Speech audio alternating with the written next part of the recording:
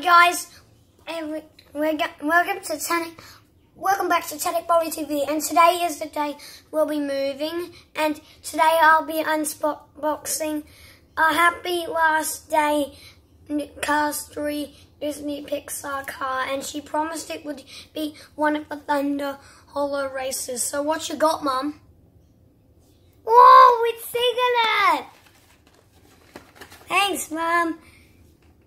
Okay, today I, I get it now. We're going to be opening up Cigalert. Or should I say unboxing Cigalert?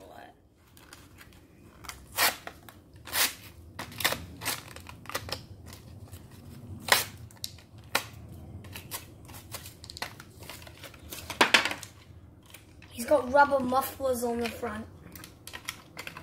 Yeah.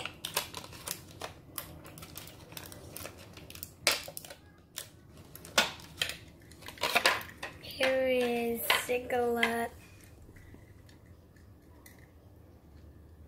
Oh look, on the back. Bring it. Hold it still so I can see. It's number 22.